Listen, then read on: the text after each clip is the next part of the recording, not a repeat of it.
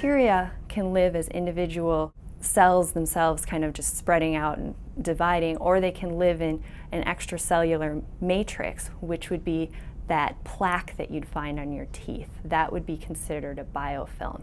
And one of the difficulties in treating different things that have biofilm is the ability for antibiotics to penetrate into the biofilm.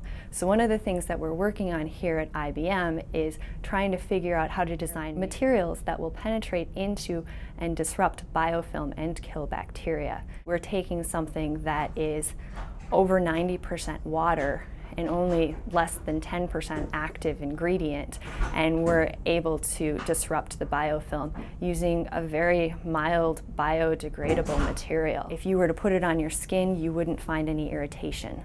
We can apply a lot of our uh, technology materials to, you know, uh, you know, Foley catheters, to, you know, bed rails, to potentially creating hydrogel materials that are injectable, such that we could inject straight into a, a uh, an abscess, so uh, a macromolecular drug, if you will. You can see real-world application and, and, and how you can actually affect people's lives.